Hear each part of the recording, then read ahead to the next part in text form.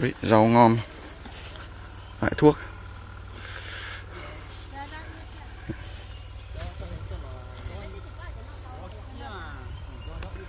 cây này tên nó là gì cây gì anh rau đắng.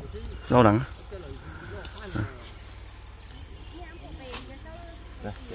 Vâng.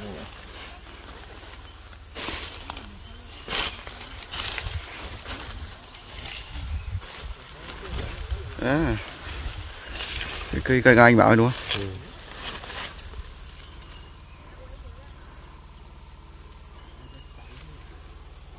Là Vâng. Này tí Luộc mềm mềm Đâu chanh Đó.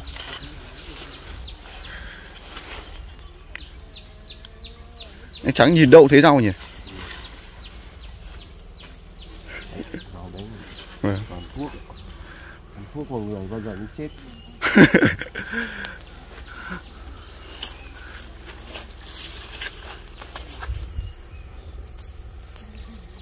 Cả ờ, đu đủ À Lá ổi. ổi Nó có một hai ngọn là Vâng rau đấy ăn được mà nó không chết đâu. Vâng Thập cẩm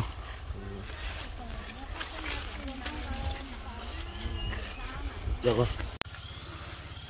Đấy anh Trắng đang đứng ở một cái điểm view Rất là đẹp Ôi ở đấy Đấy cái đấy, đấy cái đấy mà mang lên để miếng thịt. Vâng Đẹp chưa các bác Đây, Đại ca này.